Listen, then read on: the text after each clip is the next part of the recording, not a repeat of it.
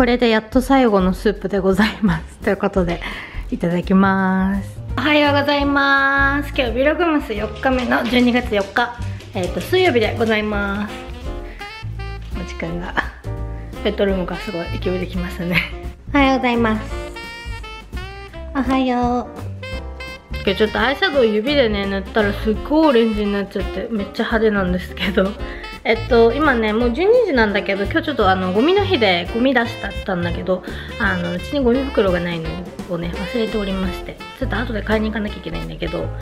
えっとついでだから、まあ、ついでって言ったらあれだけどあのトイレットペーパーとかもねもうすぐ切れそうなのでちょっとコストコ行けたら行きたいなと思ってるんだけど、まあ、行けなかったら近所でちょっと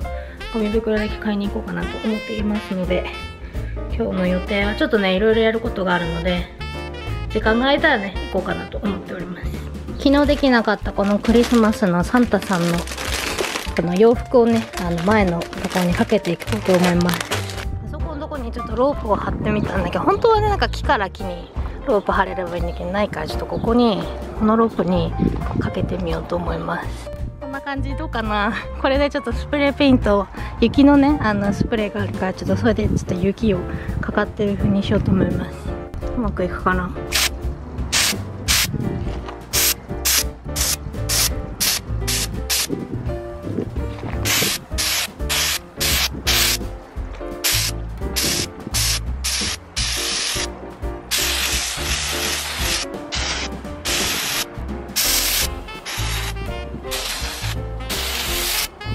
できました。ここのね後ろが先生のオフィスでここにねツリー飾ってるからちょっと両方見れていいかなと思ってるんだけどまあテーマはサンタさんがこのサンタの服を干しながら家の中で温まってるっていう設定なんだけど勝手に作ってね。なんかちょっとこれどうかなと思ったんだけどこのスプレーペイントっていうか雪のやつ。これぶっちゃけねでも取れるからあのパパってやれば多分取れるし洗濯すれば取れるからまあすごい変だったら撮ってもいいかなと思ってるけど。とりあえずこのままにしていこうと思います。明かりも余ってたのでちょっとね木に巻きつけたんだけどあとここもね通してみたんだけど。まあタイマーでこれはつけれるようになってるのでタイマーね今オフにしてちょっと今テストでつけてみたけどオフにしてまた、ね、夜見てみようと思います。このちっちゃいツリーにもねやっと明かりをつけられました。これついてたんだけどあの延長コードがなくて延長コードね探して見つけたのでここの後ろがパンパンだから違うからね取ったんだけど。いいね。明かりがつくと余計にいい感じですね。なんかさっきまですごい晴れてたから今日はもう雨降らないのかなと思ったけど曇ってきましたね。すごい寒くなってきたのでちょっとなんか暖かいの飲もうと思います。今日はね先生のおじさんからねいただいたこのベトナムのコーヒー。これちなみにこの練乳が入ってるコーヒーだから結構甘いんだけどインスタントの粉のやつでねけど温まりそうなのでこれ飲もうと思います。ちょっとカメラじゃあんま伝わんないかもしれないけどすごい曇ってるからなんか部屋が暗いですねなんかでも電気電気つけるのはもったいないけどあそこの ツリーだけ輝いてる。最近ねネットフリックスであの名探偵コナンを見つけてあの作業中とかに見るのに最高なアニメなんです。30分ぐらいで一部完結でもちろんねメインストーリーはあったりあの23話続けて長いお話みたいなあったりもするんだけどすごいなんか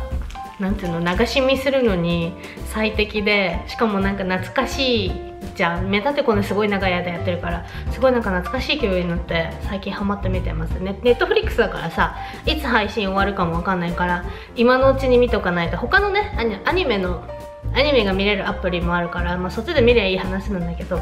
なんかせっかくやってるからちょっと今のうちに見ようと思って。しかもネットフリックスだと1回つけるとこう何ていうの連続でどんどんね再生してくれるのでそれがねずっと再生されててなんか作業をしながら見てたら結構ハマっちゃってそうずっと見てます最近。すごいコーヒーのいい香りがする。お湯が若干足りなかったけどコーヒーできました。今日はちょっとおやつ食べようと思って。ライスこれなんだっけ？ライスケーキ？キャラメルのねライスケーキがあるので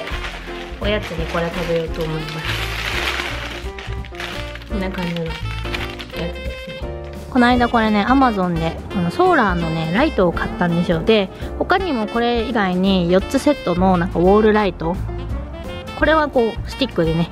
やるスポットライト風のやつなんだけどウォールライトってこうこういう風にパコってつけて上が反射板とかあのソーラーパネルになって下がこうライトにこういう風にねあの明かりが出るやつ買ったんだけどそれの方が安かったんだけどそっちはねちょっとねモーションセンサーがついててモーションセンサーでしかつかない。夜になったら常についてて欲しかったからちょっとね私が見てなかったから 説明をね見てなかったからいけなかったんだけど、あ、それはちょっと返品しようと思ってるのでこっちのねこのスポットライトの方がすごい良かったからこれはちょっと取っとこうと思ってるんだけどこれね家の前にね使ってたんだけどあのそのウォールライトね返品するがとりあえずこっちに動かしておきました。で今ね変えたばっかなんだけどこの壁に向かってちょっとこうわーっと明かりがつけばこのね 段差夜結構まあまだね完成してないからあの使ってはないけど、まあ、もちくんとかもねたまに上がってきたりするから、まあ、犬は目いいからさ段差とかも全然大丈夫だけど、一応こう明かりがあった方が段差分かりやすいかなと思ってね本当はねこの壁の真横に直でウッドデッキ作れればいいんだけど結構雨が降ると水溜まっちゃったりするのも嫌だしここなんかこういう風になってるんだよね。水はけのいいようにかたまらないようにかわかんないけど。でそれをちょっと直すのも大変だったしまあこの分開けてて将来的にはここの部分をこう花壇にするか、まあ、柵つけるかちょっと決めてないけどまあここはねこのままではしとかないけど何か 何かねあの将来的には何かがあると思うんだけどここも屋根つける予定だから屋根つけたらこういうストリングライトとかはわして明かりがねつけばここでいろいろ座ったりできるんだけどね、まあ、今も別に全然座れるんだけど。あと公園がうち目の前なのでそんなに夜もめちゃめちゃ真っ暗になるわけじゃないからあとはそこのねパティオのところにもライトついてるから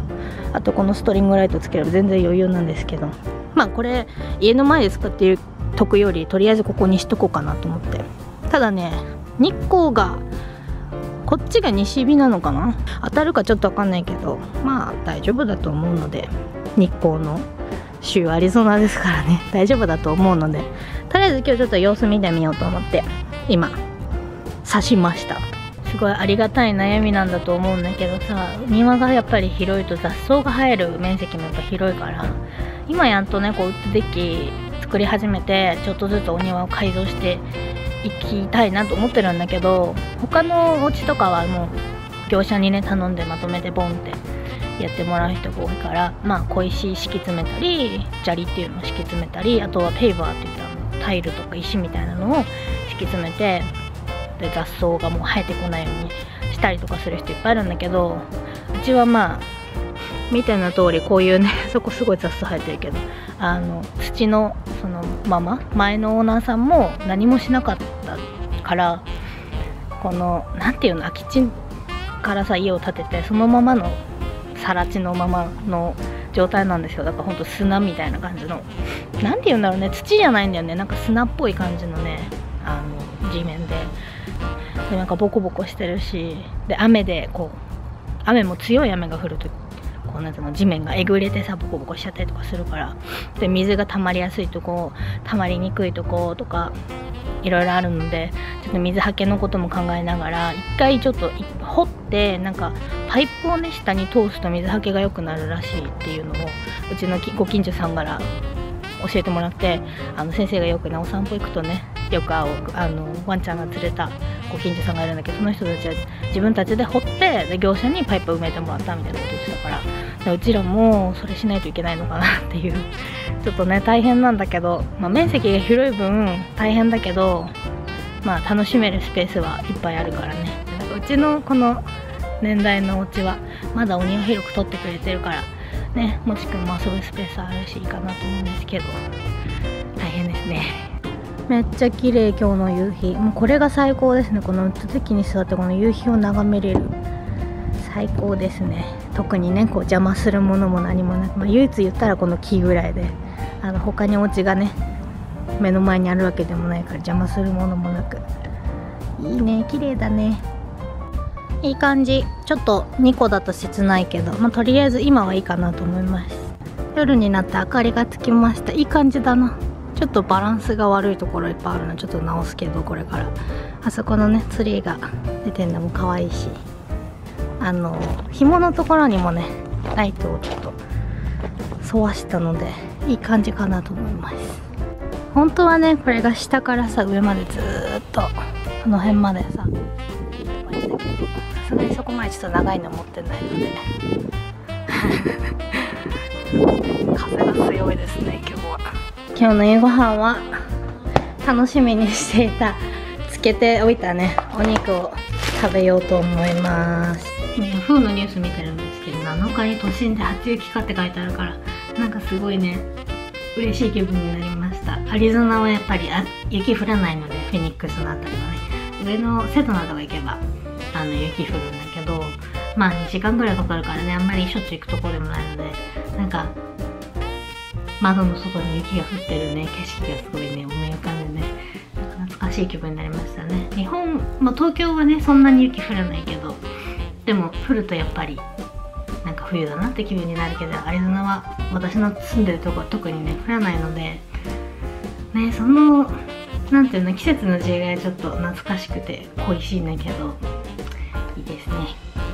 今日は久々にビールでも飲みながらちょっと映画でもこうやって見ようかなと思います。すごいビールなんか飲むのめっちゃ久々な気がするけどもうねでも時間10時なのでね。